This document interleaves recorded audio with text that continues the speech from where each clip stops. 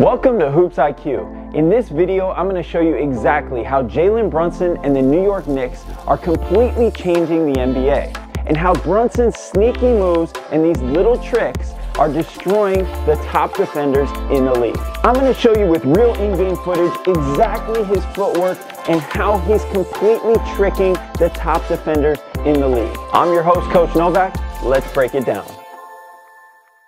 So, how did Jalen Brunson all of a sudden become an absolute superstar? At only 6'2, you have multiple defenders being sent at him. NBA coaches are baffled by what's happening. They're sending double teams, they're using smaller, quicker defenders, longer defenders to try and figure out how to stop this guy. But he's able to do it at all three levels. No matter the defense, he's still able to find a way to sneak his way through and find a bucket. And how have the New York Knicks completely changed their offense to work around Jalen Brunson? Well, I've noticed a few things. First of all, if you want to play like Jalen Brunson, you're going to need a coach like Tom Thibodeau. He's completely given Brunson the keys to the New York Knicks. Now, you have to have not only a great coach who understands that you have the capability to do this, but you have to be given the free rein, which means they've built a team around him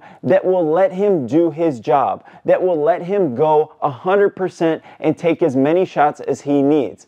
They are designed to be in perfect role players. That's why they dominate the offensive boards. That's why you have guys like Josh Hart that are flying in getting rebounds because they're in perfect sync with what Jalen Brunson is doing. Jalen Brunson knows that he can get into the lane, attack, do multiple pivots, and be patient, being able to kick out or get his own shot the other role players understand that when he gets to certain spots, they have a job to do. And a lot of times that is cut or rebound. And they understand that they're just there to play a specific role, and they have completely bought into it. This gives Brunson the full clarity, the full confidence that he can go out and just play his game. Most coaches at all levels aren't going to give this much free rein to a guy. They've built a team around him of great shooters, perfect role players, great rebounders, and guys that'll defend. And so when he comes down the court, he understands that these guys are in perfect position to help him out, and he has 100% confidence to go ahead and play his style game. When I'm trying to find exactly what it is that makes him different and I'm studying the film, it comes down to one key. Now, a lot of guys are able to be extremely shifty, which he is. He can shoot extremely well. He gets to his spot and makes his shots. Great footwork, all of that stuff, and great finishing. But when we used to watch Allen Iverson or even a Kyrie Irving, when they blow by a defender, they are trying to get to the rim, and you'll see Kyrie with amazing finishes. A lot of those amazing finishes have to do with him just leaving his feet and getting to a spot where he can then adjust, make incredible athletic moves.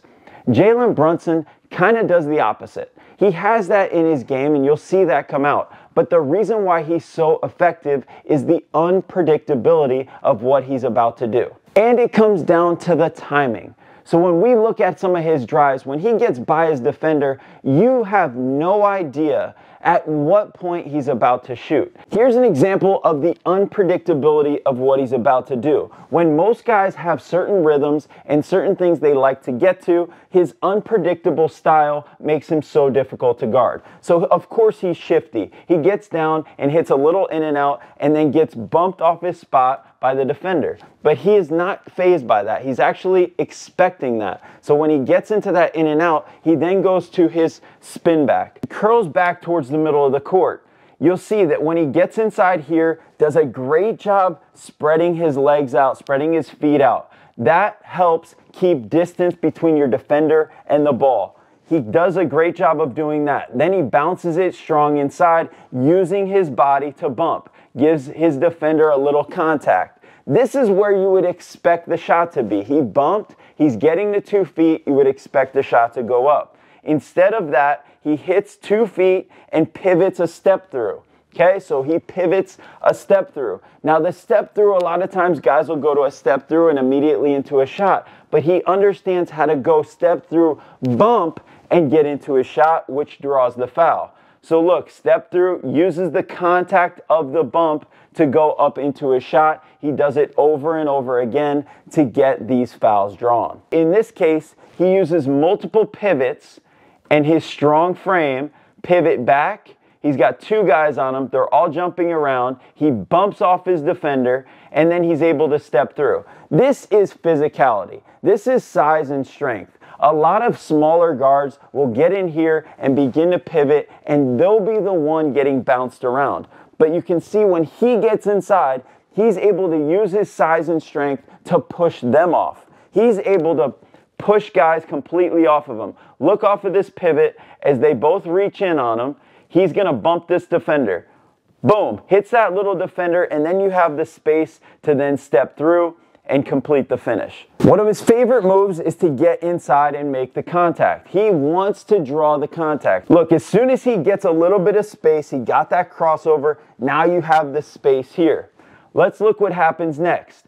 Off of the space, most guys are gonna do a straight line kind of drive right here towards the basket but he's going to push all the way in. And his job here, his focus, is to get his left foot in between this defender's feet. So let's see how he does it right here. He gets that foot right there, so important, in front of his defender so that his defender can't take a straight line for the block. So off of that step, it throws off his defender's timing. Then he's able to get into this little skip into the floater. So it's off the left to right going into a, the floater. And you can see his defender back here is struggling to even get his balance. He's off balance here because of that foot stepping inside. He's now struggling over the top and trying to get up to the block, but he's way too late. And boom, he's well into the air before they're able to block. And that's how he's able to get these sneaky finishes. When we look at timing, Here's another one where timing is so important. He gives a little jab step, gets to a spot here at the elbow. Now, what most guys will do, they'll put their guy in jail, right? Then they'll take one step off and get the shot up. What he's to do is put his guy in jail right here and shoot at the same time. So as he's going in to get that contact, he's then going up with it as well. So he's shooting off the contact. Look at him get in here, got his defender on his hip. Of course, he's shifty enough to make moves to get to this point. Once he gets to this point, his job here, his thought process is get uh, slightly in front of him or into him while I take my shot. If I can get contact, I'm going up with it. So here it is. He's slowing down to get the contact as his defender chases. Here comes the contact. Look at this footwork. Here it is, the left foot almost on top of the defender's foot. When you can use this type of footwork, completely changes your drives. Gets the foot right there, and as he's inside off of that left foot, he's also going up into the shot. This throws off defender's timing, so he's trying to go from a dead sprint to getting out of the way. This is what causes the fouls. The timing, the awareness of getting contact and going up with it extremely important. This is it. This is the key. One of his favorite moves is the in and out pickup. So it's an in and out low pickup. He'll go in and out with his left hand. He goes low pickup and then goes hard through. With his strength, he's able to blast through defenders over and over. So he's going to go in and out. Look, he pushes his man inside. Boom. Then he gets into the low pickup. In and out. Boom. Low pickup arms go straight to the floor, and he starts to rip through with two hands. His defender stays in front. Most guys jump way out of the way, and he's able to rip through that. This guy stays in front. He takes the contact, takes the contact, still gets into his one two and one foot floater. The balance right here and the strength, unbelievable.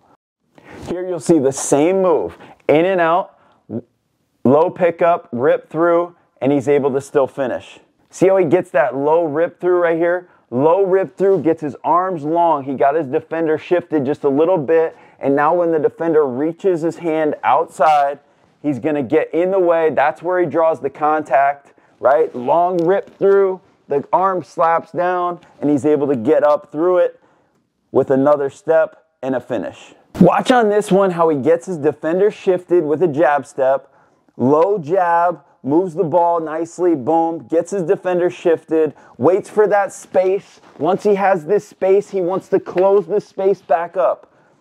Boom, he wants to come back into him, use that shoulder. He takes that hit strong, uses the power and the weight that he has and the strength, and then he's able to go up through his defender and finish. Always looking for the contact and going up through it. He has the elite footwork to step inside, go up straight through the contact, and that's what changes the game for him.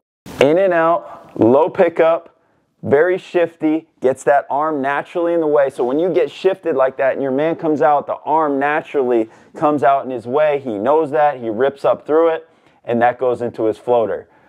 Very smart, high IQ play. It's really all about three words it's contact, timing, and balance. He understands how to use these three. He uses the contact extremely well. He stays on balance with the contact and he throws people off with different timing.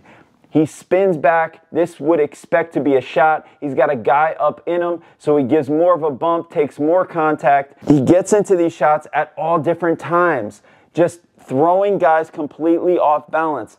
You can feel like he's gonna shoot right here. Off the spin, it feels like he's gonna go right up into the shot, but he kind of bounces, bounces into a different shot. Look, bink, bink, you see how he uses the pivot, the timing, the footwork to get up into the shot at different rhythms. This completely throws defenders off, and this is why he's so effective. If you want more videos like this and breakdowns, make sure you like and subscribe. This has been Hoops IQ. I'm your host, Coach Novak. I'll see you in the next video.